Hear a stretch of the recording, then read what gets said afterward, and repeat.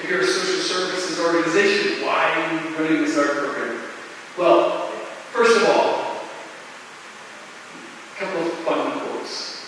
One, every child is an artist. The problem is uh, it's staying an artist when you grow up. And that's Pablo Picasso. We're all born to be artists. We're all born to express ourselves. We all have emotions. And art is a way that it draws us out. Right? We can express ourselves through So that's one reason. The other is there's a ton of talent in this county. A ton of talent in our senior population, in our population with disabilities. Just look at some of these pieces. There's some spectacular work in this room. So art is a way uh, to bring us together.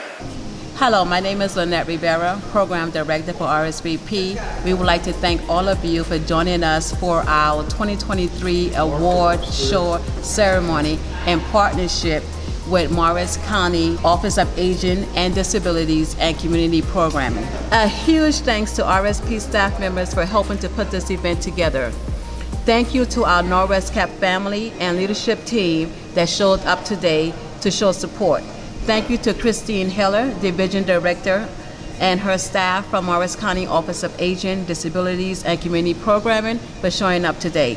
Thank you to Marion East Sally Housing Authority for allowing us to utilize this space on such short notice. Last but not least, thank you to First Lady Mary Dougherty, wife of Mayor Dougherty, Morris County Commissioner Deborah Smith.